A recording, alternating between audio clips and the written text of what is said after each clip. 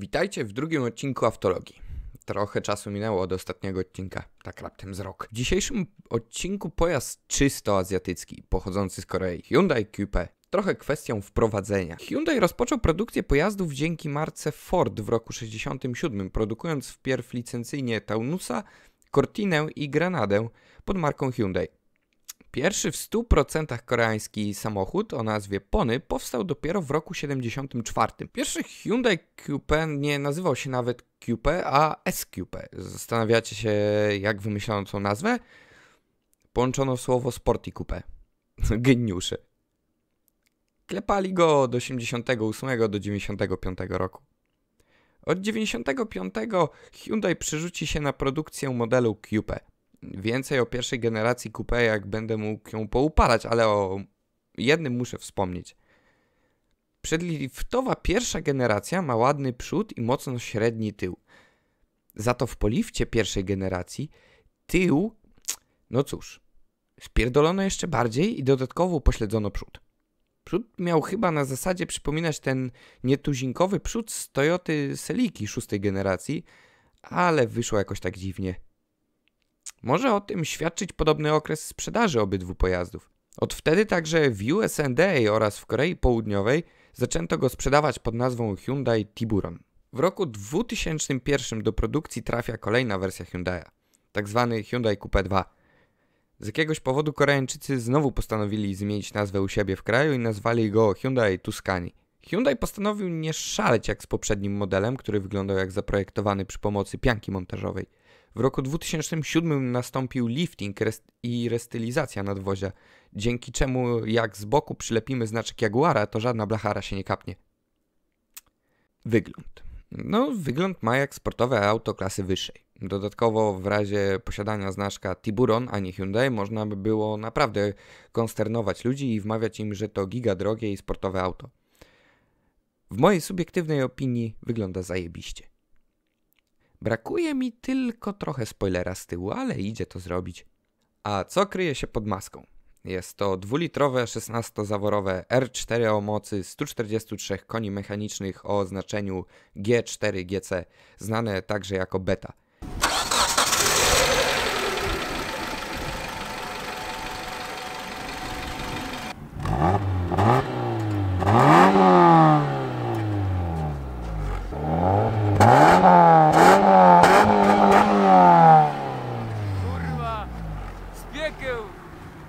I jak widać lubi podtlenek biedy, więc w dzisiejszych czasach warto. Teoretycznie chyba się coś popsuło, a z drugiej strony nigdy nie wiadomo. Występowała jeszcze rzędowa czwórka 1.6 o nazwie Alfa i 2.7 V6 o znaczeniu Delta.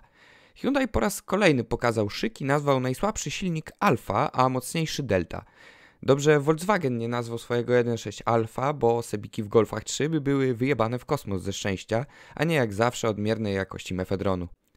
Napęd przenoszony jest na przednie koła przez pięciobiegową skrzynię biegów o odpowiednio krótkim skoku dźwigni, dzięki czemu czujemy się jak w jakimś Porsche albo innym Polonezie. Występowała też sześciobiegowa skrzynia manualna oraz automatyczna czwórka. Środek też jest wpyte. Mamy cyfrowy zegarek, temperaturę z udogodnieniem dla hamburgerykanów, czyli możemy zmienić z Celsjuszy na jakieś farady czy inne stopy. No i to, co mnie najbardziej kupiło i czego grubo kościści nie mieli w standardzie, czyli te trzy dodatkowe zegarki. Newty, spalanie, czyli w dzisiejszych czasach coś bardzo przydatnego i voltomierz, też bardzo przydatny. Pod nimi radio, oczywiście niefabryczne, no i na samym spodzie trzy pokrętła. Temperatura połączona z włącznikiem od klimy, siła nawiewu i ustawienie nadmuchu połączone razem z ogrzewaniem tylnej szyby i lusterek. Pomyślicie sobie, że kupeta to auto takie bardziej dwu, góra trzyosobowe. No, w pewnym sensie tak. Może to być auto czteroosobowe, o ile osoby z tyłu mają maks 1,50 m. W innym przypadku dla osób z tyłu nie jest to jazda, a katorga. Z drugiej strony Hyundai Coupe jest dosyć pojemny, ponieważ przewieźliśmy w nim trzy osoby, kompresor,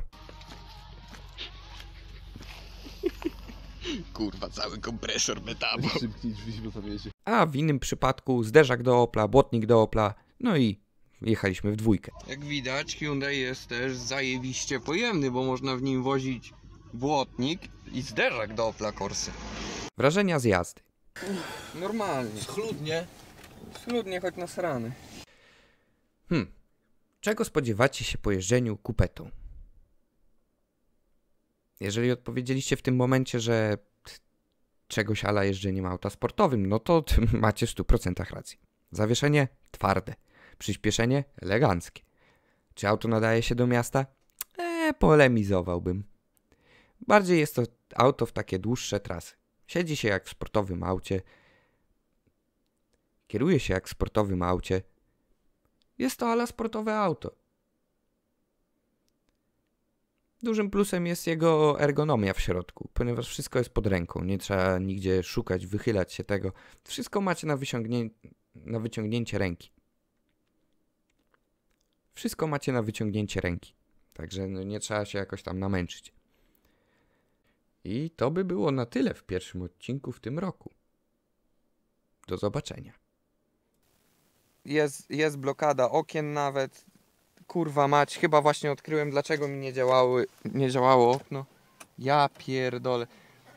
Ja byłem kurwa święcie przekonany, że mi się rozjebało coś w drzwiach, a tu się okazało, że ja przez przypadek musiałem najwidoczniej kolanem kliknąć, że blokada okien. No idzie to zrobić.